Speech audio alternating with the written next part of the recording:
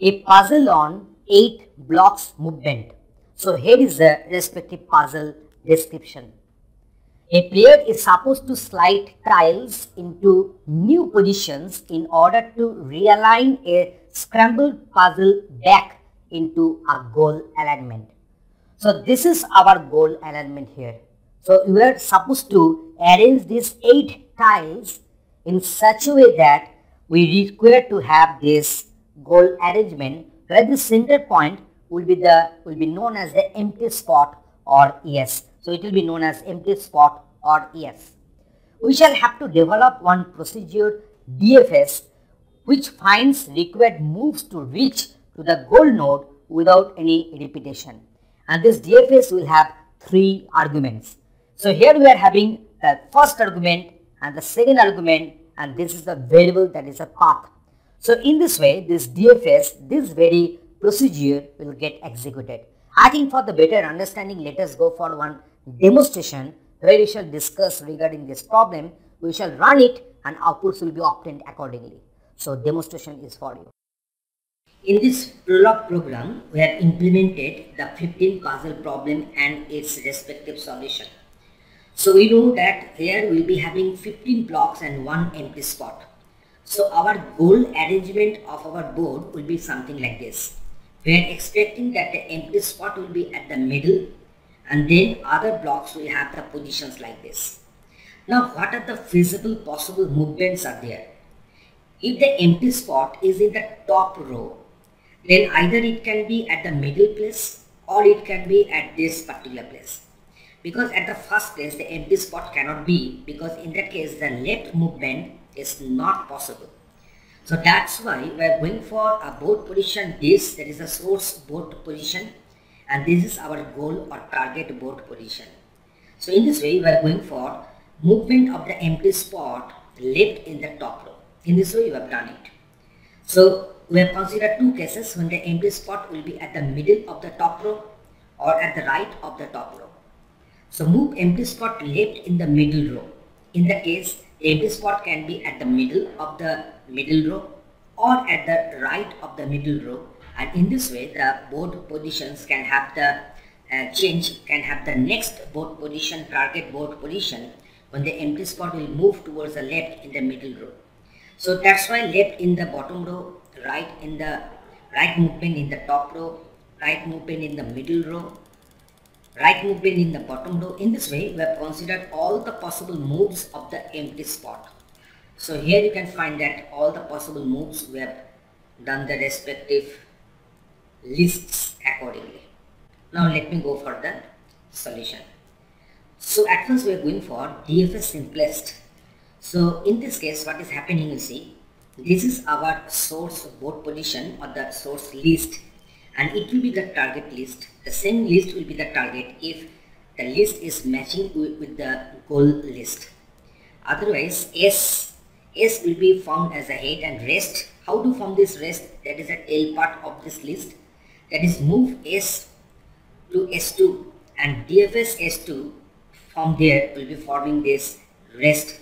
So DFS simplest has been called here recursively. So in this way DFS simplest is working. That means it will move, it will just make the current board position as a first argument and all the board position intermediate while going to get our goal board position in the second list. Okay. Now let me execute one query on this DFS simplest. So here is a query, we are going to execute this one.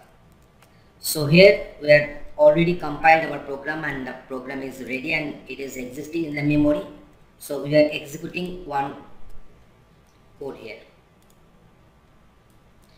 So this is a query and we want to execute the query here. So here you see it is producing, we are getting this answer that is 1, 2, 3, 0, 4, 5, 6, 7, 8. That means it was in the first uh, in the first column of the middle row the empty spot was there and it has reached to the goal node accordingly. Okay, so my DFS simplest is working fine. But the main difficulty in the DFS simplest is that it hasn't kept any trace that the target board position is already traversed or not. You see, if there is a cycle, if the target port position is already traversed by this algorithm earlier, by the other instances earlier, then it will form a looping. It cannot give us the ultimate result because each and every time it will reach to a target state of the board which has been traversed already. So as a result of that, if you go for a complicated board position like this, here this empty spot is at the bottom. Then in that case, if I execute this query here, you can find that it is not giving us the answer because it will form an infinite loop and you can find that this GNU Prolog is has stopped working here. So it has stopped working. So if I close this one, so my this window is getting closed. So that's why we are going for another version of this DFS simplest. So here it has been labeled as DFS. So here we are doing the same thing, but one thing we are doing, that means whatever the board positions, the least structure we have covered, we have traversed already in our uh, board arrangements, we are keeping that one in a trace, in a respective list that is known as a checked. And if this target board position is not a member, so it denotes not, is not a member of this checked list, then we shall go for this DFS S2 and this S2 is also getting prepended to the checked list. So it will prohibit uh, our board positions to come which has been traversed earlier. So now if I execute this query on this, so here also the program has been compiled and it is found okay. So I'm getting this answer perfectly okay. And here also if I just write here length of this path and I'm keeping this one in n so it is giving me that how many transitions I had to make to reach to my goal node. So it is telling that only one transition we are, uh, we are requiring. So that's why this DFS is better than the DFS simplest because it is keeping a trace of those board arrangements, those lists which we have got on our way to reach to the source board position to the target board position. So this is our algorithm. We have shown you that how my program is working and how to bring a betterment in our execution in our coding. In this video, we are going to show you that how the family relationship can be expressed in Prolog language. So here we are having one family tree. So these are the so Pam is the parent of Bob, Tom is the parent of Bob, Tom is also having another child that is Liz. So this is our family relationship tree. Prolog is a programming language for symbolic, non-numeric computation. It is especially well suited for solving problems that involve objects and relationships and between the objects and so on. So objects and relationships or relations between the objects will be depicted in our Prolog language. In Prolog we can write this family tree as like this one. So parent Pam Bob. So Pam is the parent of Bob. Parent Tom Bob. So Tom is the parent of Bob. Parent Tom Liz. So Tom is the parent of Liz and so on. So there we are having this is known as the facts that means the known knowledge base. So also known as knowledge base also known as facts. So in this way we have written this and these are, can also be under the category clause and each and every clause must be terminated by a full stop and that is the syntax of this Prolog language. So our example program has helped to demonstrate some important points. So what are the points we have noted here? we have defined parent relation by stating the n tuples of objects based on the given info in the family tree. The user can easily query the Prolog system about the relations defined in the program. So whatever the knowledge base we are having, we can generate the respective queries and goals to get the answers. A Prolog program consists of clauses terminated by a full stop as I mentioned earlier. The arguments of relations can among other things be concrete objects or constants such as Pat or Jim or general objects such as x and y. So here this x and x is written in capital and y is also written in capital. So they are the general objects can also be called as variables. Objects of the first kind in our program are called atoms. So here we are having this Pat and Jim, they will be known as the atoms and objects of the second kind will be known as the variables. So here this capital X and capital Y will be known as the variables. So variables can be written in Prolog either starting with a capital letter or with one underscore. After that it may have small or capital letter combinations, it can have underscore, it can have digits and so on. Questions to the system consists of the one of the one or more goals. So let us define the sex of our family members. These facts can be written in two different ways. You can write in this way or you can write in this way. So that will depend upon your decision that how to define the sex of the family members using facts written in two different types of clauses. You can select any one of them. So let us let us see how can we define mother and sister relationships. So how to define the mother relationship?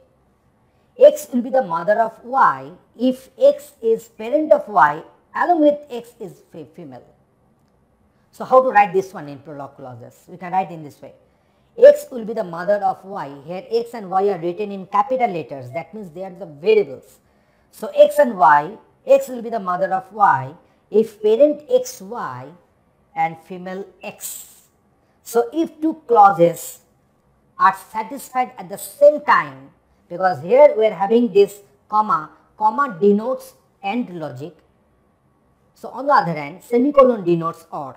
So here these two conditions are connected by AND and this is known as if. Colon dash is known as if and each and every Prolog clause must be terminated by full stop. We know that clauses can be divided into two categories. One is a facts and the one is a rule. So this is our rule and where we wrote something like your parent Tom Pat. So that was our fact. That is a knowledge base. So sister, how to define sister? So come to this diagram here.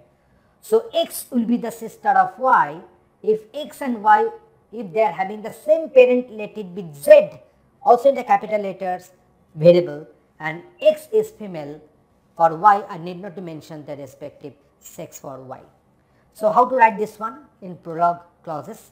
So sister xy if parent zx and parent zy that means z is the common parent for x and y both and female x.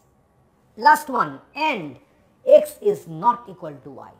So if x is not equal to y, x is a female and x and y both are having the same parent, let it be z say, then you can say that x is a sister of y. Similarly, you can define the father. You can easily see that here we had the female, here we have written male and similarly we can also go for has child. So x will have the child if x is parent of someone. So someone, how to write someone in Prolog? That is underscore. Underscore means what? Means anonymous variable. So a variable can be underscored and it is having a special meaning that it is anonymous variable. So brother xy, so we have defined sister, now brother xy, so parent xz, parent zx rather and parent zy, so that means the same parent for x and y and male x and x is not equal to y. So in this way also you can define brother relation.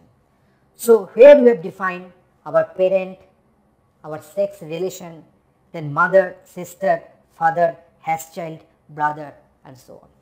So let us go for the practical demonstration for the better understanding how these codes should be written and how to execute them through certain queries or goals. So here is the demonstration for you.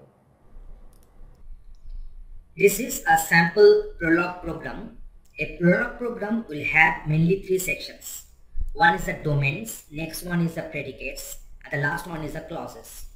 So under domains, we'll be having name is equal to symbol or some sort of declarations like this.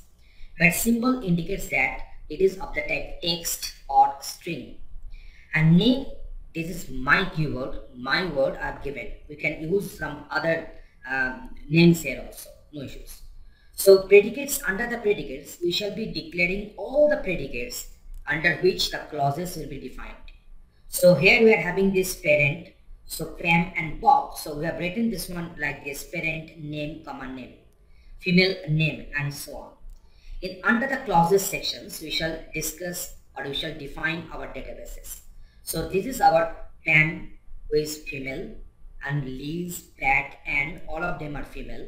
So here I am declaring some other knowledge base and this is the respective knowledge base we have defined. Now this is the clause and this is the the first clause we have written here is known as the mother. So mother x comma y.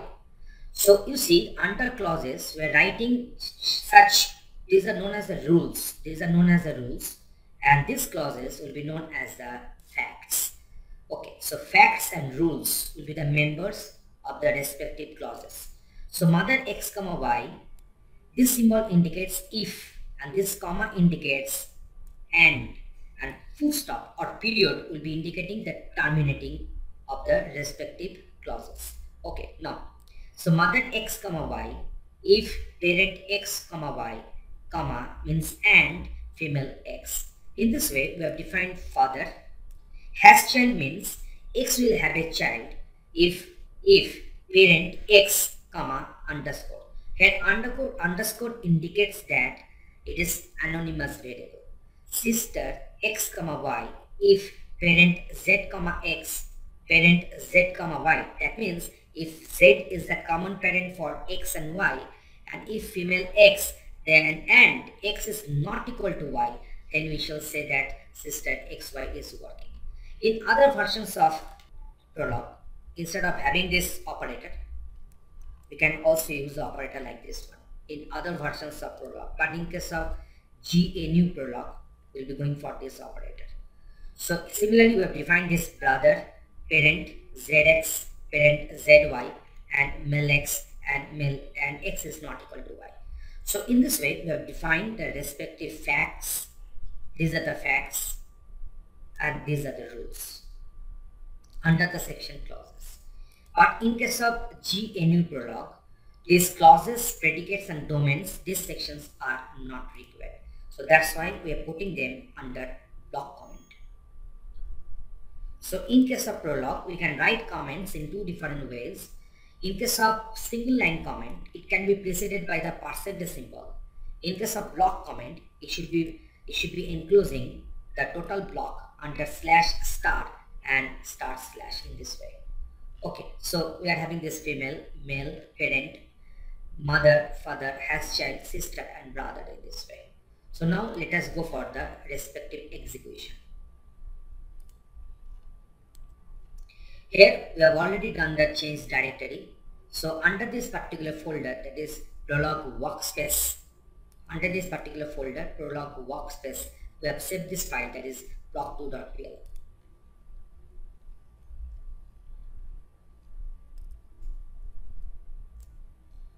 so now the program has been compiled and it has been it has found that no error is there so it is executable now so now let me execute with some respective calls so i'm going for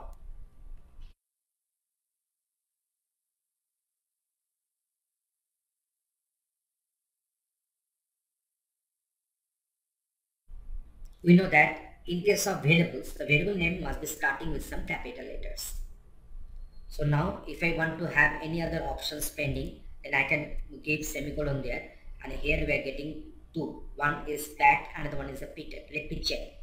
So Jim, so Pat, Jim, Jim. So it is Peter, Jim. So that's why you got two answers. Now, let me go for mother. If I want to terminate the solution here, then I can press enter. I can hit enter. But if I want to get all other combinations, then I can I can press here uh, semicolon. So these are the options. So two answers I'm going to get from our knowledge base.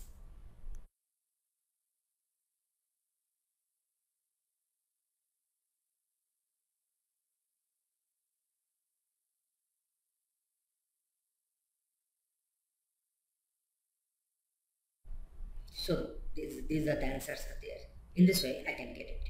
If I go on pressing the semicolon, then all the answers will be obtained. Let us go for brother.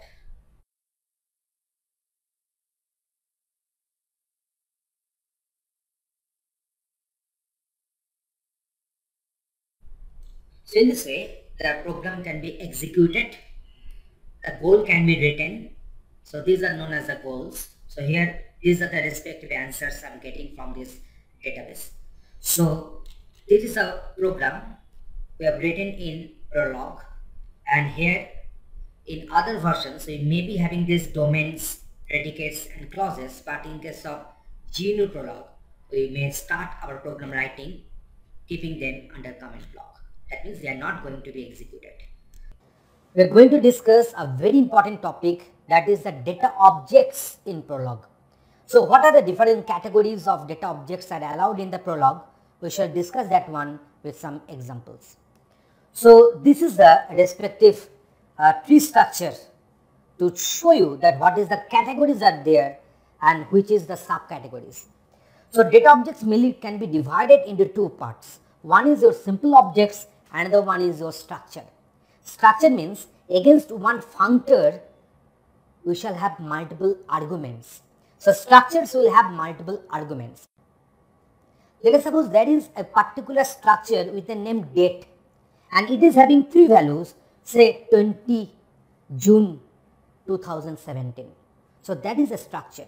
We shall have a separate video on structure you can also watch them. So simple objects can be categorized into two heads. So here these are the constants and these are the variables.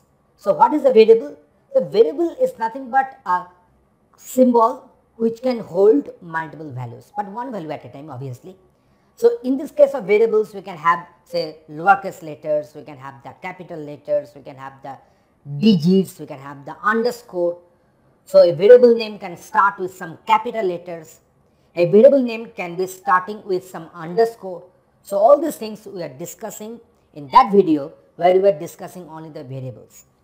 These constants can be divided into two categories. One is atoms and another one is the numbers. So TOM, Tom, written in the lowercase letters can be treated as an atom.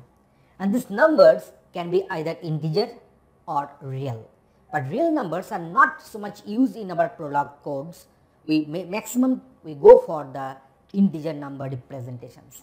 So examples, let us go for the examples. So atoms, Tom, that, X 100, X underscore 45 will be a good example of atoms. Numbers 100, 1235, 2000.45, this is a real number, these are the integer numbers. Variables, so it can start with the capital letters, it can have the lowercase letters also, can have also the digits, can also start with some underscore and then followed by some other characters. Structures, say day, so 9 June 2017, so that this is known as a structure name, also known as a functor. Point 10 comma 25, a point is a functor, 10 and 25 are two arguments. So these are the representations of structures. So we are having separate videos for all them, for all of them for the better understanding and for more examples and discussions. Please watch all of them in the respective sequence. Thanks for watching this video.